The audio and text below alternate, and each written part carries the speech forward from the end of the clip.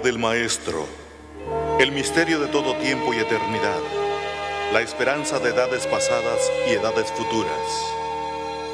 Porque de tal manera amó Dios que ha dado, y a través de esta dádiva nos dio la vida.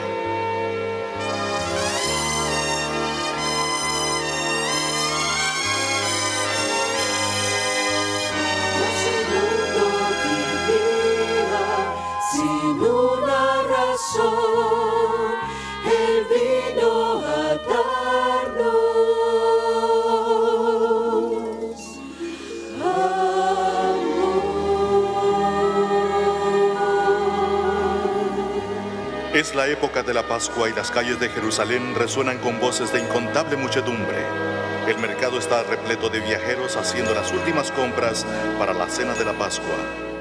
Débiles gritos se oyen en la distancia y poco a poco se escuchan más fuertes al acercarse la multitud. Gloria al Rey, el Mesías ha venido. Jesús de Nazaret, hijo del buen José,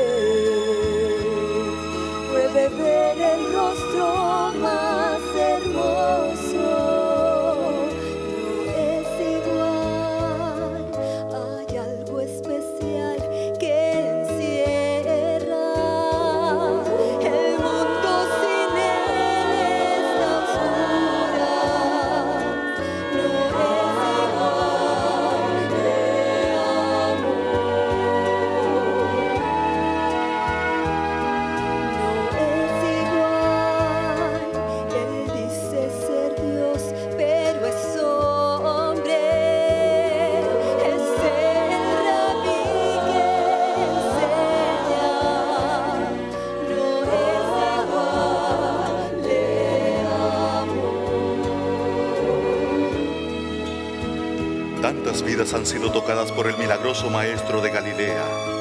A los ciegos hizo ver, al cojo caminar. A los despreciados recibió con compasión y amor genuino. Sin embargo, algunos de sus amigos íntimos todavía se preguntaban, todavía dudaban. ¿Era él al que habían esperado? ¿Era él el prometido?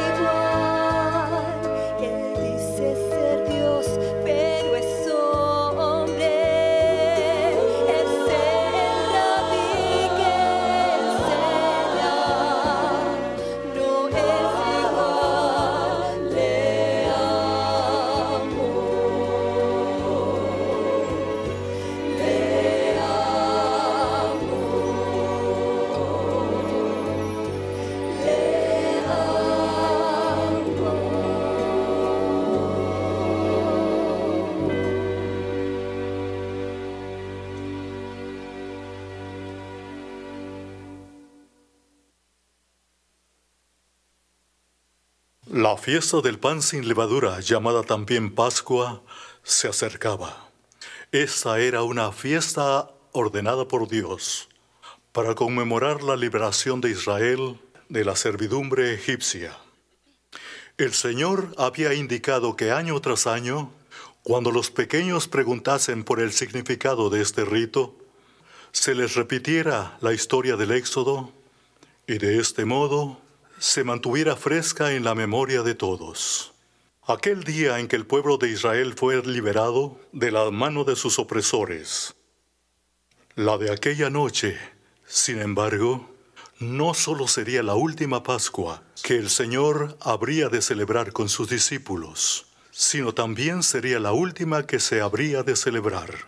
Pues cuando se sacrificaba el cordero en esas fechas, era para enseñar al pueblo lo referente a la muerte de Cristo. Y por fin había llegado la hora. El verdadero Cordero Pascual iba a ser sacrificado. Estaba por beber la copa de la ira, pronto iba a recibir el bautismo final de su sufrimiento. Pero le quedaban todavía algunas horas de tranquilidad y quiso emplearlas para beneficio de sus amados discípulos, por lo que mandó a Pedro y a Juan diciendo, vayan y preparen la Pascua para que comamos. Y entrando en la ciudad, fueron y encontraron un aposento alto, grande y amueblado. Llegada la hora, él se sentó y los doce apóstoles con él.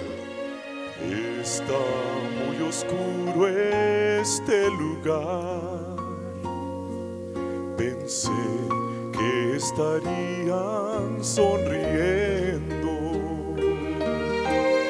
Mientras aquí todo triste está. Tan solo me importan las riquezas. Las cosas no han salido ¿Será que realmente es el Hijo de Dios?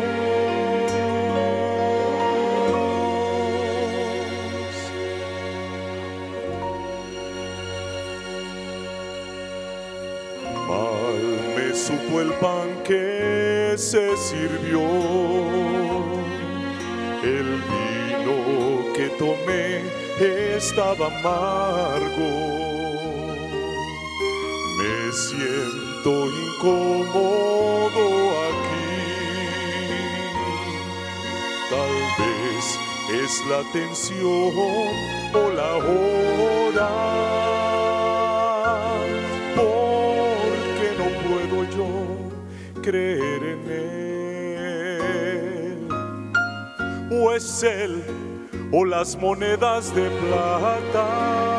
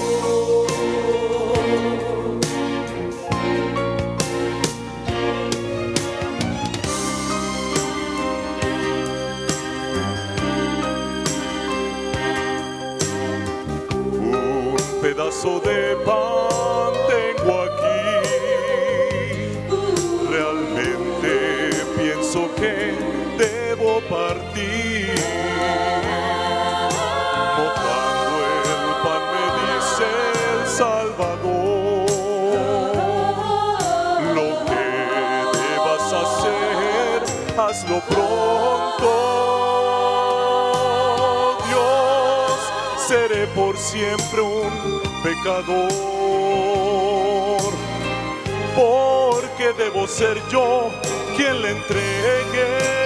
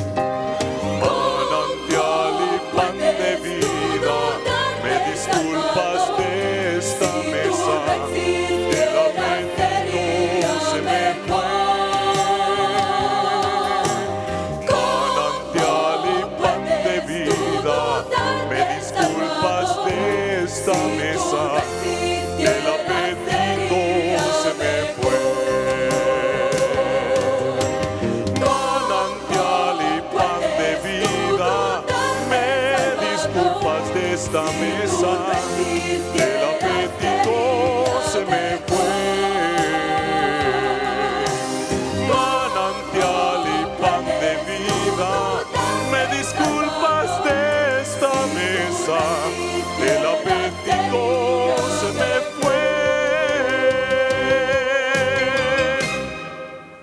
No tendré hambre nunca más. Admirable había sido la entereza de Jesús en su trato con esa alma tentada.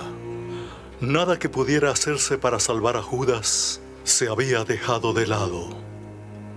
Después que se hubo comprometido dos veces a entregar a su Señor, todavía Jesús le dio una última oportunidad de arrepentirse. Leyendo el propósito secreto del corazón del traidor, Cristo dio a Judas una evidencia convincente de su divinidad. Esto fue para el falso discípulo el último llamado al arrepentimiento. El corazón divino, humano de Cristo, no escatimó súplica alguna que pudiera hacerse. Pero, aunque sorprendido y alarmado al ver descubierta su culpa, Judas se hizo aún más resuelto en ella. Desde la cena sacramental, Judas salió para completar la traición y era ya de noche.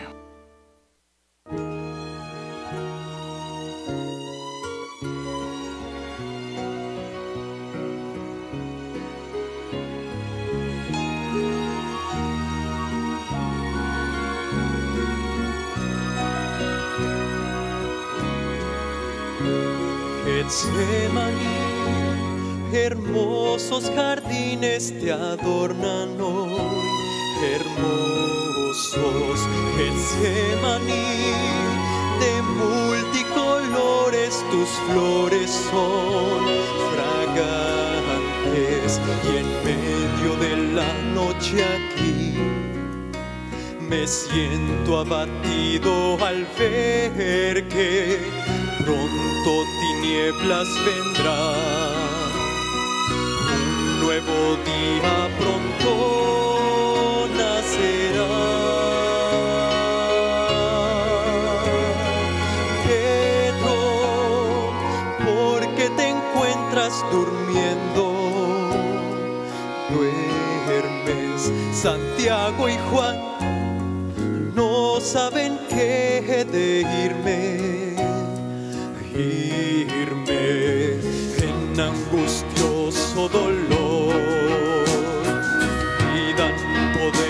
a lo alto. Es fuerte el espíritu en mí,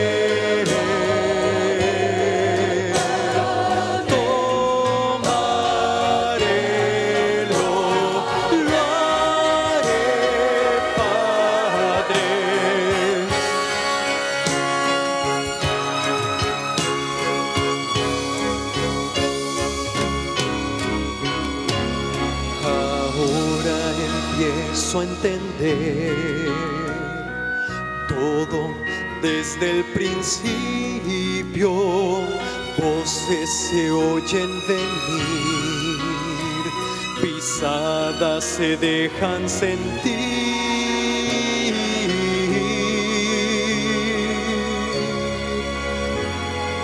Judas, espero que me recuerdes siempre, oh Judas, beso fue tu ofrenda, un beso.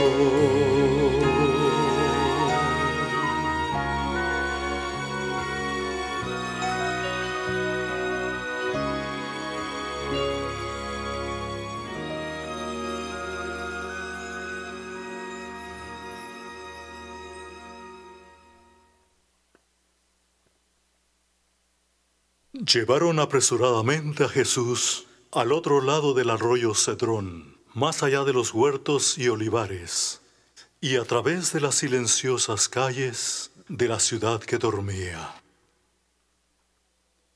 Era más de medianoche, y los clamores de la turba aullante que le seguía rasgaron bruscamente el silencio nocturno. El Salvador iba atado y cuidadosamente custodiado. En el camino hacia el palacio de Anás, el ex sumo sacerdote, y estaban reunidos con él todos los sacerdotes, los ancianos y los escribas. Pero a la distancia, Pedro lo siguió hasta entrar al patio del sumo sacerdote.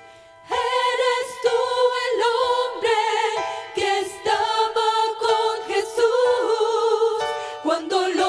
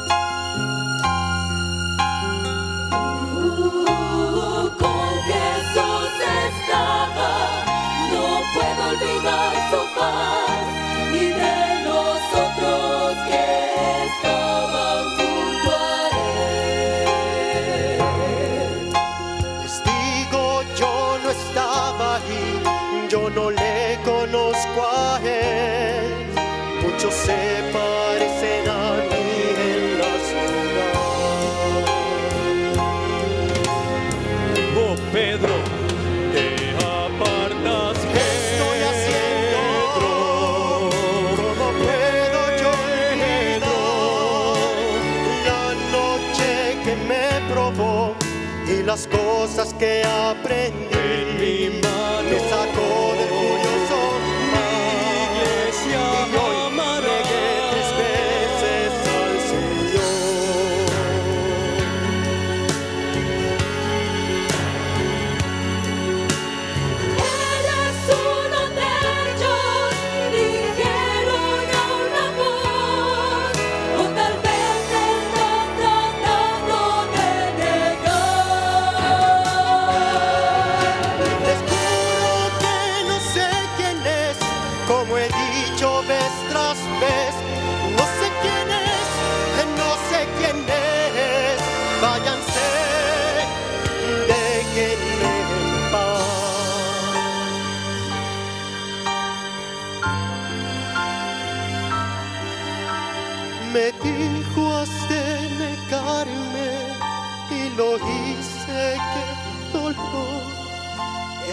Mejor si muerto yo pudiera estar.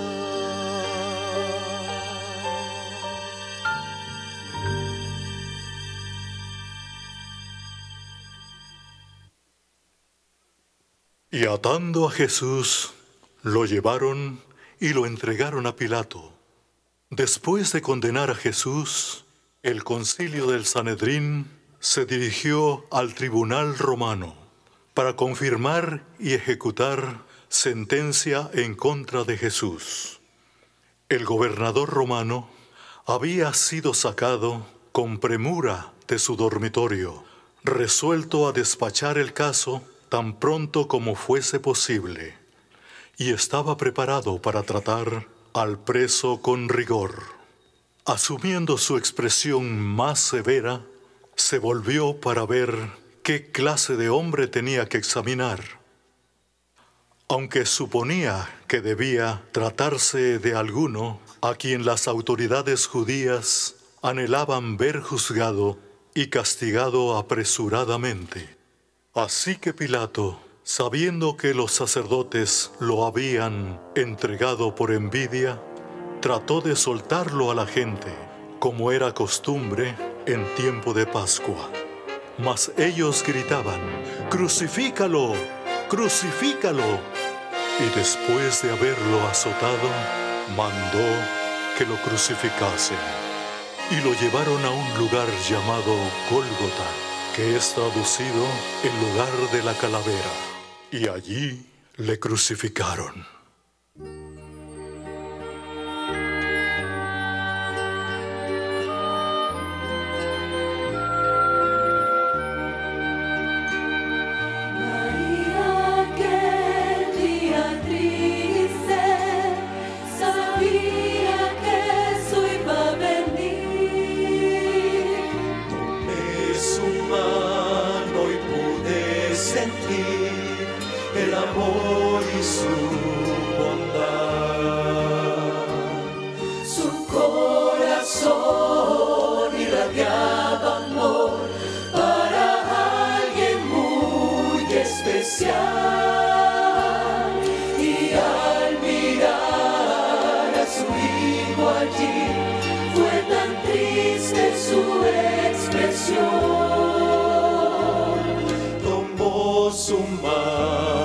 Sin saber por qué le oí decir y una lágrima asomó.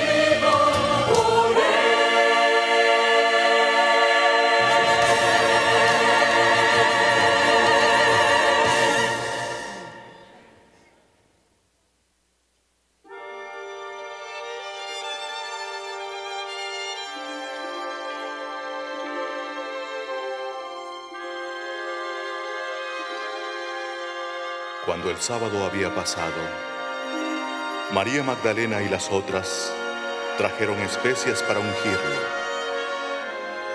En el primer día de la semana, fueron a la tumba cuando el sol ya había salido. Muy temprano en la mañana, cuando no